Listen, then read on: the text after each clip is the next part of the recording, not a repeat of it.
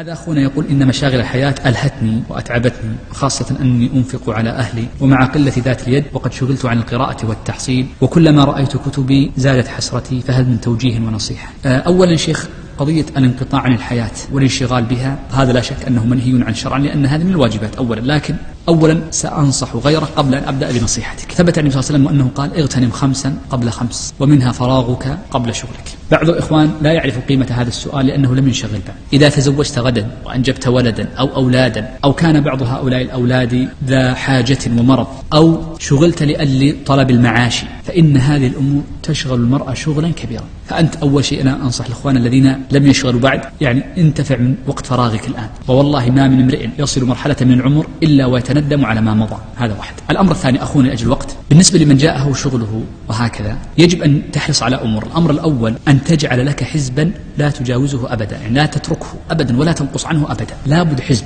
إما من القرآن أو من الحديث أو من القراءة. نبدأ بالقرآن. ذكر فقهاؤنا وذكر ذلك ابن أبي يعلى في التمام ونقله من بعده عنه أنه باتفاق يكره أن تمر على حافظ القرآن أو من يحسن قراءته نظرا أن يمر عليه أربعون يوما لا يختم القرآن. اجعل لك حزبا لنقل جزءا من ثلاثين أو أقل من ذلك بحيث أنك تختم القرآن أقل شيء كل أربعين يوم مرة. نبدأ بأعظم العلم القرآن. وقد كانت عائشة رضي الله عنها تجعل لها حزبا من القرآن فإذا جاء نومها ولم تقرأ ذلك الحزب أخرت نومها لتقرأ حزبها. اجعله لك حدا لا تتركه أبدا. وهذا معنى قول النبي صلى الله عليه وسلم إن لكل عمل شرة. ولكل شرة فترة. فمن كانت فترته على سنتي فقد هدي. دائما حط لك حد أدنى لا تجاوزه. هذا في القرآن. في القراءة احرص على أن تجعل لك عددا من الصفحات لا تتركه أبدا. يعني أضرب لكم مثال من بعض المعاصرين الشيخ علي الطنطاوي ذكر في مذكراته قال أخذت على نفسي عهدا أو وعدا ليس نظرا لكي يكون واجبا أن لا يمر علي يوم إلا وأقرأ فيه مئة صفحة. تعود على نفسك. كل يوم مئة صفحة. أول ما تبدأ ستكون صعبة. ثم ستصبح عليك أسهل من السهل نفسه إذا لابد أن تجعل لك قراءة.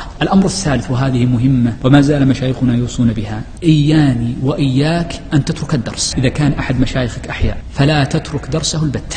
احضر احضر عنده وإن كنت إن شاء الله أنت رئيس المحاكم. وهو ما زال إمام مسجد. لا تترك الدرس. جعل لك درسا في الأسبوع احضره يختلف الدروس معي. تنظر لك يوم من الأيام فجر في إجازة. لابد يوم في الأسبوع على الأقل يكون لك درس. هذا حبل بينك وبين العلم فلا ينقطع.